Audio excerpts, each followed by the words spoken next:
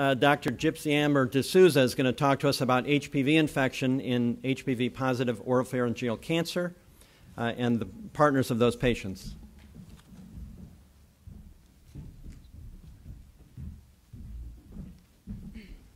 Thank you. It's a pleasure to be here with you and on behalf of my co-authors to talk with you about oral human papillomavirus infection today.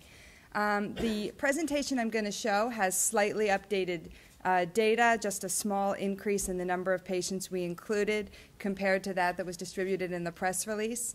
Um, but we will be getting these uh, updated numbers into a press release that will be available later today. And all of the inferences are the same. It's just a small change in the numbers. So you can use either set of numbers.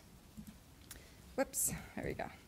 Um, so as background, human papillomavirus, or HPV, is a common sexually transmitted infection. The majority of oropharyngeal cancers in the United States are now caused by HPV, and the incidence of HPV related oropharyngeal cancer is increasing significantly. So, some of the patients with this diagnosis worry about oral HPV transmission and the cancer risk to their partners and spouses.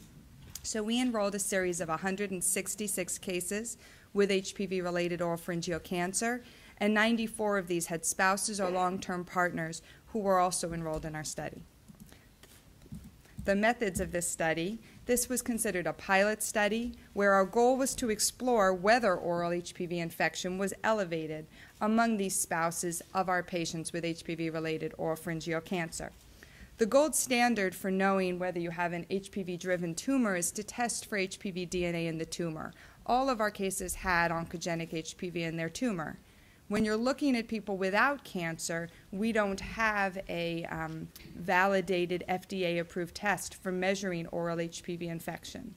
But the best test that we do have is to take an oral and rinse, oral rinse and gargle sample and to look in those exfoliated oral cells for HPV DNA.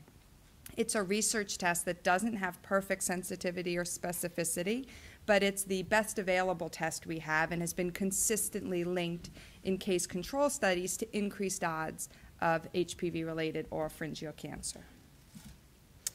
So we collected these oral rinse and gargle samples and tested for HPV DNA in our cases and in their spouses. When we looked among our cases, who were primarily male, we saw that two thirds of them had HPV DNA in their oral exfoliated cells. So, HPV DNA that is leaking from the tumor and is detectable in their exfoliated cells.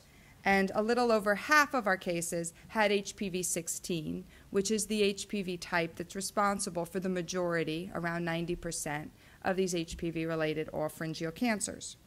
We took a second oral rinse sample around a year later after they'd completed their therapy, and the vast majority of these cases no longer had any HPV 16 DNA detectable. When we looked in our spouses, and again, so these were uh, long term partners or spouses of our cases, we're looking in their oral samples and we compared their prevalence to recent data that was published in NHANES, which is a population based uh, study representative of the US population. And we compared our results to the results in NHANES from a similar age range to our spouses, 50 to 65 years old.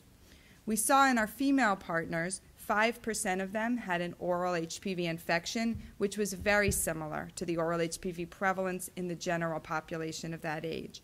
And only two of our partners had an HPV 16 infection, both detected at very low copy numbers. We only had a small number of male partners in our study, but none of them had oral HPV 16 infection. So, taken together, these results were very reassuring that oral HPV prevalence is not more common among these spouses of HPV related oropharyngeal cancer patients than people in the general population. This suggests these partners have been exposed in the past but have effectively cleared these infections. We also asked about cancer history in our spouses, and we did a detailed oral cancer screen this was a visual oral examination by a head and neck surgeon in a subset of around uh, two thirds of our spouses. There were no oropharyngeal precancers or cancers detected in our spouses. When we asked about their cancer history, none of our enrolled spouses had had oropharyngeal cancer. although three of our cases reported a previous partner who had had oropharyngeal cancer. So their current spouse had not had oropharyngeal cancer, but they had had a spouse in the past who had had oropharyngeal cancer. We also asked about cervical cancer. We did have one partner in our study who had had cervical cancer and two partners who had had a cervical precancer. Uh, we also had two spouse, uh, two part, I'm sorry, two cases who had had a previous partner who had had cervical cancer. This supports the transmission of HPV to the mouth from oral sex, and having uh, cervical cancer and cervical precancer suggests a long-term cervical HPV infection, and oral sex on an infected, uh, someone who has a genital HPV infection, is known to be a risk factor for transmission of HPV to the mouth, and this supports that transmission.